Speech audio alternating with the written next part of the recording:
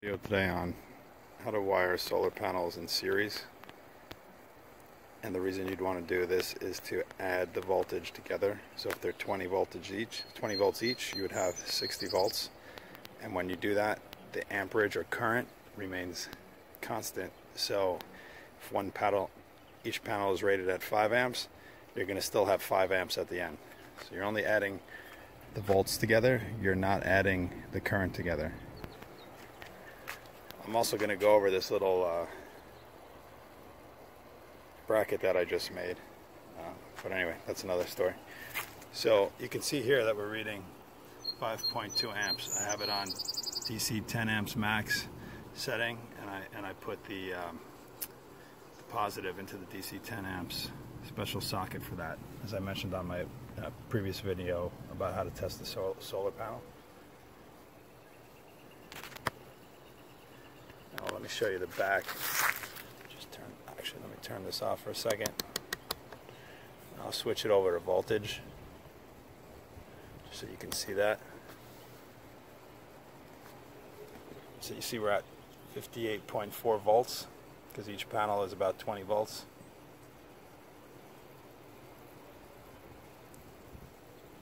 Alright, let me just show you how this is wired.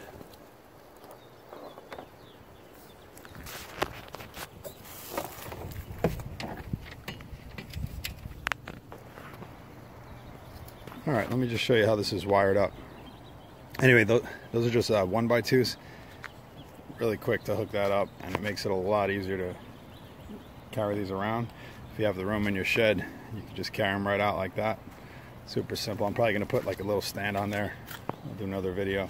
Anyway, this is positive, negative from one panel. The negative from one panel goes into the positive of the other okay? It cannot go into the negative unless you have a special parallel adapter. So you can't really mess this up if you want to do series. If you do it in parallel it's different. Uh, the voltage stays the same and the amperage is additive. So that's the opposite of what we're doing. This is a series. So negative into positive and negative it's negative positive.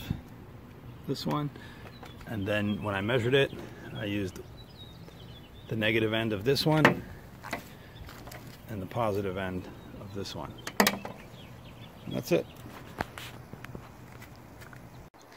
If that helped anyone, please like the video, please subscribe to my channel, and please share the video. I appreciate that very much. Thank you.